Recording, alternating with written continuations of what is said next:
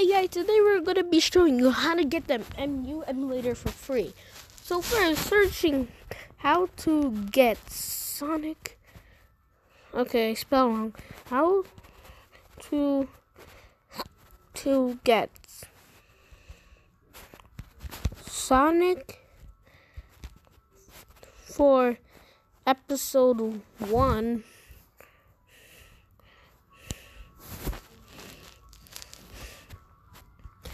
Episode 1 for free.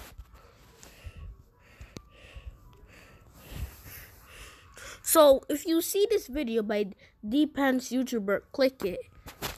In my description, I have given the link to download it. So, when you reach here, go to the description and hit the, the Ace Market over here. Ace Market. So, after when you you you you hit the download now then once you have ace market go to ace market after. Then hope it works. Now search m u emulator. When you click it hit this button and click free download after now you got the mu the md emulator. Thank you for watching the video and i'll see you next time. Bye bye